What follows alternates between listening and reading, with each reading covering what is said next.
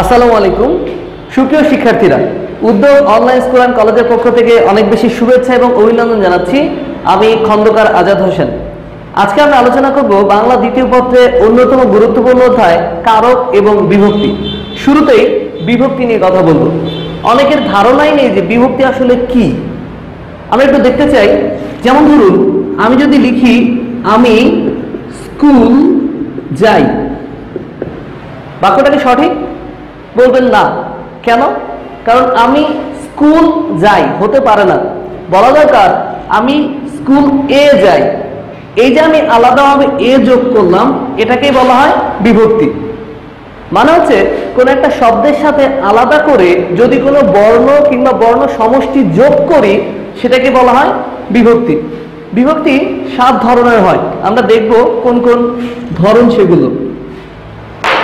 প্রথমেই প্রথমা কিংবা শূন্য বিভক্তি। বাংলাদেশে প্রচলিত বিভিন্ন বইতে আপনি দেখতে পাবেন এখানে অনেক কিছু লেখা আছে। অত কিছু দরকার নেই একদমই। যেখানে কোনো বিভক্তি নাই, সেটাই শূন্য বিভক্তি। একদম সহজ উপায়। যেখানে কোনো বিভক্তি নাই, সেটাই শূন্য বিভক্তি। যেমন ধরুন, আমি যদি বলি, আমি বই পড়ি। এখানে বই, কিছু যোগ করেছি? নিশ্চয়ই না। এটা শূন্য বিভক্তি। কিংবা ধরুন, আমি ভাত খাই। ভাত, কিছু যোগ করেছি? না, এটাও শূন্য বিভক্তি। তার মানে মূল শব্দের সাথে কিছু যোগ না করলে সেটাই শূন্য বিভক্তি। এবার দ্বিতীয়। দ্বিতীয় হচ্ছে কে রে। এতটুকু বললেই হবে। কে এবং রে। যেমন ধরুন রহিমকে যেতে হবে। এখানে রহিমকে, অথবা ডাক্তারকে ডাকো। এভাবে যদি কোনো একটা মূল শব্দের সাথে কে যুক্ত হয়, সেটাকে আমরা বলতে পারি দ্বিতীয়া। আরও কিছু উদাহরণ থাকতে পারে, যেমন ধরুন, আমারে যেতে হবে বা আমাকে যেতে হবে। কে? তোমাকে শুনতে হবে। কে? এভাবে যদি কোনো একটা বাক্যে, কোনো একটা শব্দের সাথে আলাদা করে কে কিংবা রে যুক্ত থাকে, সেটাকে আমরা বলতে পারি দ্বিতীয় বিভক্তি। এবারে তৃতীয়া। দ্বারা দিয়ে কর্তৃক। যেমন ধরুন, আমরা যদি বলি মন দিয়ে পড়াশোনা করো। মন দিয়ে পড়াশোনা করো। এখানে দিয়ে আছে, অথবা লাঙল দ্বারা জমি চাষ করা হয়।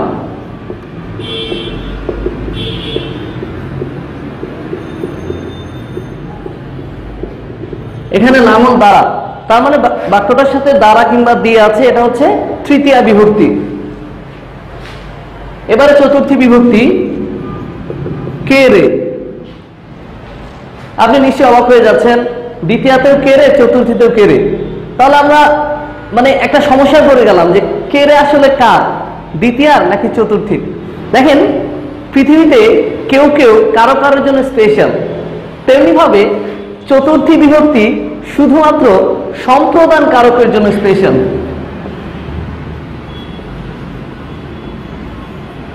আমি ব্যাপারটাকে আরও একটু স্পষ্ট করছি। যেমন ধরুন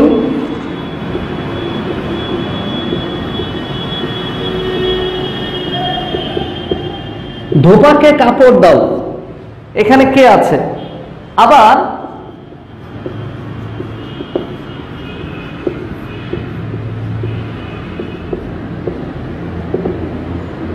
ভিখারিকে ভিক্ষা দাও। এখানেও কে আছে? তাহলে আমরা নিশ্চয়ই কনফিউজ হয়ে যাচ্ছি। এই কে এটা কোথায় যাবে? এই কে এটাই বা কোথায় যাবে? দেখুন, যখন ধোবাকে কাপড় দিচ্ছি, এটাকে আমরা ফিরে আনব না? আনব। যদি একবারে না নিয়ে দেই, একবারে দিয়ে দিচ্ছি না। সেটা হচ্ছে দ্বিতীয়। ভিখারিকে ভিক্ষা দেই এটাকে আবার ফিরিয়ে আনি? না, এটা হচ্ছে চতুর্থী। তাহলে কেড়ে যখন দেখব, আমরা একটু থামবো। এটা কি দ্বিতীয় না চতুর্থী? বাক্যটা দেখে আমাদের বুঝতে হবে, একবারে দিয়ে দিচ্ছি, চতুর্থী। একবারে দিচ্ছি না, দ্বিতীয়। এই হচ্ছে কেরের দ্বিতীয় এবং চতুর্থীর পার্থক্য। এবার পঞ্চমী বিভক্তি। হতে থেকেছে। যেমন ধরুন মেঘ থেকে বৃষ্টি হয়। মেঘ থেকে বৃষ্টি হয়। কিংবা দুধ থেকে দই হয়। দেখতে পাচ্ছেন থেকে আছে। যদি থেকে থাকে, এটা হচ্ছে পঞ্চমী বিভক্তি। এবার ষষ্ঠী বিভক্তি, র কিংবা এর। ষষ্ঠী বিভক্তি হচ্ছে র কিংবা এর। যেমন ধরুন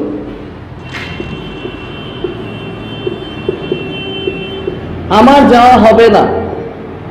এখানে র আছে। অথবা তোমার। তোমার যাওয়া হবে না সেম ব্যাপারটা আমরা দিতে পারি। এভাবে যদি র কিংবা এর থাকে, সেটা হচ্ছে ষষ্ঠী বিভক্তি। সপ্তমী, এ, অ, তে। আপনাদের মনে আছে, একদম শুরুতে লিখেছিলাম, আমি স্কুল এ যাই। সেই এটা ছিল সপ্তমী বিভক্তি। তাহলে আর একবার করে বলে দেওয়ার আগে একটা কনফিউশন দূর করি। অনেকেরই বিভক্তি শেখা সত্ত্বেও একটা বিষয় ভুল শিখে যায় অথবা ভুল থেকে যায়। সেটা হচ্ছে, যেখানে কোনো বিভক্তি নাই, সেটা বলেছিলাম শূন্য বিভক্তি। এখন ডাক্তার, ধরুন লিখলাম ডাক্তার ডাকো। এটাকে আপনি কি বলবেন? আপনি নিশ্চয়ই দেখছেন ডাক্তার নিজেই হচ্ছে একটা মূল শব্দ। রটা কিন্তু আমি আলাদা যোগ করিনি, যে আপনি ষষ্ঠী বলবেন। ডাক্তার নিজে একটা মূল শব্দ, তাহলে এটা শূন্য বিভক্তি। তো আপনি আমাকে একটু আগে যেটা দেখালাম সেটা নিয়ে প্রশ্ন করতে পারেন, তাহলে আমার কোন বিভক্তি?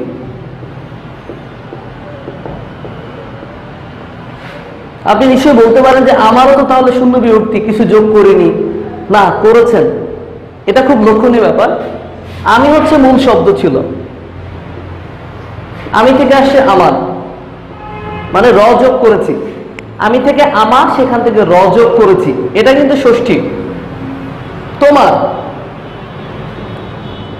তুমি থেকে আসছে তোমার। এই রটা আলাদা যোগ করেছি। যখন আমি রটা আলাদা যোগ করছি, এটা ষষ্ঠী। কিন্তু একজনের নামই ধরেন যে কাদের? একজনের নাম কাদের? শেষে র আছে। তো আপনি কি এটা ষষ্ঠী বলবেন? না। এটা মূল শব্দ। তেমনিভাবে ডাক্তারটা মূল শব্দ ছিল, এটা প্রথমা। কিন্তু যখন বলছি আমার, ভুলেও ভাববেন না যে আমারের সাথে কিছু যোগ করিনি, করেছি। রটা যোগ করেছি, কারণ মূল শব্দ আমি বা আমার ছিল। এটা কিন্তু ষষ্ঠী হবে। আশা করি আপনি আমাদের বিভক্তিগুলো সম্পর্কে আইডিয়া পেয়েছেন। ইতিমধ্যেই বিভক্তি শিখে গেছি। এবার আমরা একটু প্র্যাকটিস করে দেখতে চাই, আমরা আসলে কতটা শিখেছি। যেহেতু আমাদের অনলাইন ভিত্তিক ক্লাস আমরা চাইলেই আপনাদের উত্তরটা সরাসরি নিতে পারছি না। তাই আপনি মনে মনে উত্তর তৈরি করুন, দেখুন আমাদের উত্তরের সাথে আপনার উত্তরটা মিলে যাচ্ছে কিনা। প্রথমটা শায়রি বই পড়ে। শায়রি এই শব্দটা নিচে দাগ। আমরা শায়রি এই শব্দের সাথে কিছু যোগ করেছি? নিশ্চয়ই বলবেন না। যেহেতু শব্দের সাথে কিছু যোগ করিনি, তাহলে এটা কোন বিভক্তি হবে? নিশ্চয়ই মনে আছে আপনাদের? প্রথমা কিংবা শূন্য। এবার দ্বিতীয়টি নিয়ে কথা বলি। আমাকে যেতে হবে। আমাকে নিচে দেয় দেখতে পাচ্ছেন? একটু আগে বলেছিলাম, আমি বা আমা ছিল মূল শব্দ, যোগ করেছি কে? আর কে মানেই মনে আছে আপনার দ্বিতীয় বিভক্তি। এবার, জমি থেকে ফসল পাই। মনে আছে, হতে থেকেছে কি ছিল? পঞ্চমী বিভক্তি ছিল।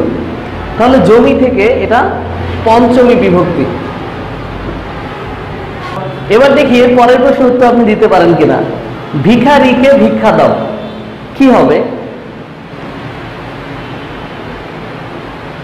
নিশ্চয়ই আপনি ভেবে আপনার উত্তর পেয়ে গেছেন। ভিখারিকে ভিক্ষা দিচ্ছি আমরা একেবারে। এটা ফেরত নেব না। ফেরত নেব না, এই শর্তে যদি কে কিংবা রে থাকে, সেটা কিন্তু চতুর্থী। তাহলে এটা চতুর্থী বিভক্তি। মন দিয়ে পড়াশোনা করো। একটু মন দিয়ে ভাবেন তো কি হবে এটা? দিয়ে আছে। মনে আছে আপনার? দ্বারা, দিয়ে, কর্তৃক, এগুলো থাকলে কি হয়? তৃতীয় বিভক্তি না? হ্যাঁ সেটাই। তৃতীয় বিভক্তি। এরপর, তোমার কথা মনে পড়ে। আন্ডারলাইন তোমার। একটু ভাবেন। তোমার র আলাদা যোগ করেছি, তাহলে র এর, এটা যেন কি? ষষ্ঠী বিভক্তি। তাহলে তোমার কথা মনে পড়ছে ষষ্ঠী বিভক্তি।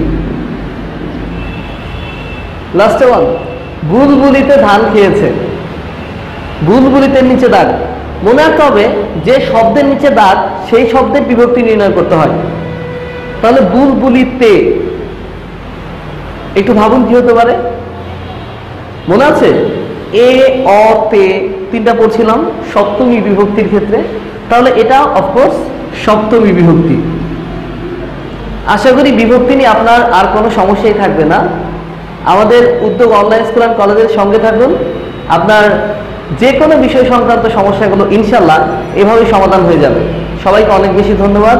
আসসালামু আলাইকুম। ha